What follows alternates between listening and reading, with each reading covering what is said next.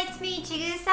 今日は Next Step ちぐさの YouTube 英会話教室。皆さんの英語学習の質問だったり、相談だったりに今日は答えていきたいと思います。では、早速行ってみましょう。楽しく継続できる方法はありますか？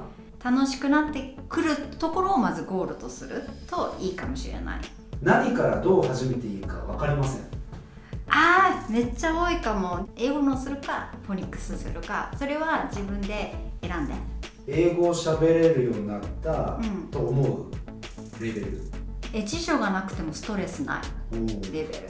あとは分かんないこともないかと思えるレベル。悩まずにうん。スカイプレッスンをしようと思う気持ちはどうやって持ったらいいですか？えもう数。数勝負。慣れって大事。なるほど。そう YouTube と一緒だよ。チャンネル登録してね。6つ目。アメリカに留学したいんですけどはい。どの程度まで話せるようになったらいいですか？性格による。コミュニケーション能力が自分で高い？なんか知らない人でもイエーイ!って喋れちゃう人は喋れなくてもぶっ飛んじゃえって感じ。でもそのあんまり人見知りだったりとかその人とコミュニケーションを取るのが難しい人はある程度の基礎は持っていくと早い。ちぐさ先生がカナダに留学した時はうん。どういう、私はどちらかというと、まあ、人見知りなんだけど喋れる。だから知らない人とかにどんどん声かけてった。へえ。若気の至り人見知りでなんでそこまでできたの？えもうだからさっきのやるかやらないかだよね。私は留学にこれだけお金をかけてバイトしてお金貯めてわざわざ来てんのに何もしないってことがもうありえないから私はそんなことをしにカナダにいるんじゃないんだと思ってやらなきゃいけないことはやる。だからぶっ飛んだタイプ。ぶっ飛んで成功したタイプ。なるほど。うん、そしたら慣れてくる。そしていっぱい友達できたからうんどちらかというと日本人の友達がめっちゃ少なくってほとんど違う国の友達。でしかもその人たちが喋れてる人英語喋れてる人たちばっかりだったから自分に甘える環境は作っちゃダメだと思う。誰と仲良くなってもいいと思うけど迷おうが何しようがもう自分次第。7つ目。7つ目。うん。英会話をうん。早く上達させるにははい。文法が先かはい。発音を身につけヒアリングを鍛えた方がいいのかうんうん。どっちですか、あこれもよくある質問だよね。人と楽しくこういろんな人と出会ったりとかして学ぶタイプなのね。だから考えなかった文法先とか発音先とかより全然考えなくて友達を先に作った、うん、友達を先に作ってその会話の中から学んだ。だから正直私英語喋れてたんだけど文法分かんなかった。うーん。そう日本に帰ってきて英語の先生しますってなった時に初めて知っへえ。たそうなんそれかまではじゃあ文法っていうものをあんまり気にしなかった？知らなかったそれでも会話はできた？全然できた。うん。でそうなるとまあリスニングの方が早かったかな、うん、じゃあみんななんで文法をやろうって思うんだろうね？いやそこでこの間なんか目標設定のカウンセリングを見てたらみんな面白いことに気づいてその文法とか発音とかって自分一人でできちゃうじゃん。だから簡単じゃん勉強し始めるのが。だから多分みんなそこから行くんだと思う。あと音楽をやってる人とかは発音からやった方が早い。うん。んピアノできる人とかカラオケ上手い人とかは発音からやった方が上手いしで発音って結構現れやすいじゃん。で他の人からもう発音うまいねとか言われやすいからさっきのモチベーションの話じゃないけど他人に評価されることが早いのでモチベーション上がって早い。なるほど。うん。8つ目 OK 単語がなかなか覚えられません。楽しい言い換えトレーニング教えてください、一人でやる場合？私人からしか学ばないんだよね本当に私は多分覚えるのがすごい苦手で暗記が本当にできないの。だからテストの点数とか本当にやばい。一人で学ぶっていうそもそもの固定観念やめたらいいんじゃない？うん。誰かに頼るって大事だよ。うんうん。じゃあネクステップで学ぶときは一人で学ぶというよりはみんなで学ぶっていうことになるんまあ、動画で私が言って学ぶかその私から学んでもらうか、まあ、うちはコミュニティがあるからそこで学ぶかとか人から学ぶこと多いし全然英語じゃないんだけどこの間スターバックス行ったのね。スタバっていろいろオーダーできるの知ってます？みんな。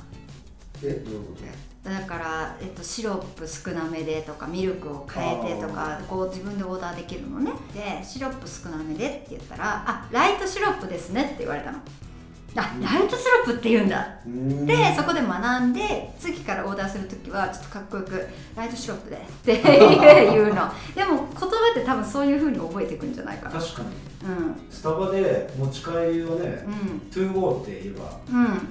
分かってくれるから。そうそう。なんかそうそうなんだ。そう言えばいいんだって生活しながら思うことが多いから、それって人から学んでるじゃん私、なるほどそそうか。う一人で学ぶのもいいけど、ういろんな人から学んだりとか。んもういいと思う。あと単語を学ぶ時はいらない単語は捨てて。もうねみんなね単語帳の1ページの全部覚えようとするの。でもったいない精神は分かるの。どれが出るか分かんないからまあって分かるんだけど私は自分の、うん頭の脳みその量量っていうか大きさを考えたらそんなに覚えられないから自分が使うものだけを覚える例えばサラリーマンの方で、えー、とまだ一人結婚もしてない一人の人に「ダイパーっておむつって言葉いる?」って言ったらいらないじゃん。でも主婦でお子さんがちっちゃい人に関してはすごいいるじゃん。ダイパーって絶対使えるじゃん。毎日「Let's change your diaper」とかっつって言えるじゃん。でだからダイパー覚えてっていう。でもサラリーマンの方にはダイパーって見てもうそれ捨ててっていう。うん。そう。身近なものからうん。攻めていくそれが一人でやるんだったらそれに徹底する断捨離。高評価はポチそしてチャンネル登録してね。9個目。9個目。リスニングですね。ネイティブの会話が全くわからない。うん。ってきてますまずそもそもネイティブ同士の会話を聞き取れないって私も聞き取れん方言とかそれこそブリティッシュとかオーストラリアンとか入ったらマジ何喋ってんだろうと思っへてー。なるなる。全然なんか単語単語ぐらいしか入ってこなくてうん。ざっくりは分かるけど細かいところまでは分かんない。全然分かんない。全部リスニングが聞かえるから喋れるってわけではないと思う。なるほど、うん喋れるから、うん、聞けなくてもまず。へー。そもそもそこ？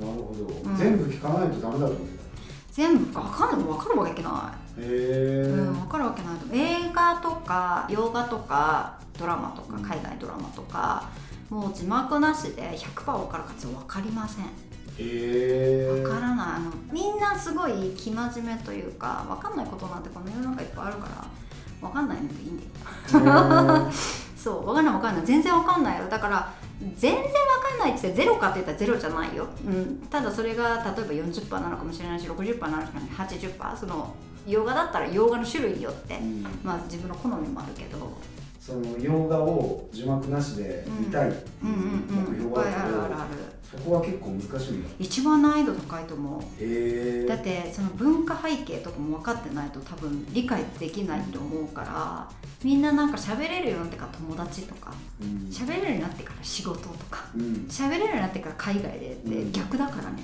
そうみんなそう思ってる逆逆友達作るから喋れるようになってくるしうん。海外に住んでていろんなことが分かってきて喋れるようになるし仕事やってて使うから喋れるようになってくるからね。なるほど。そう逆逆みんな。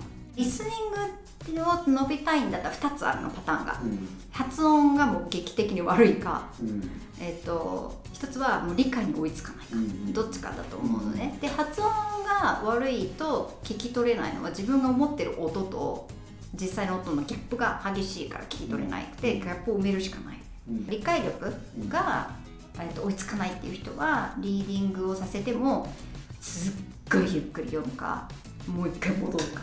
なんかよく読んでってみんな読むの発音。で発音はちゃんとできてんの。でその内容何だったって言うと「え？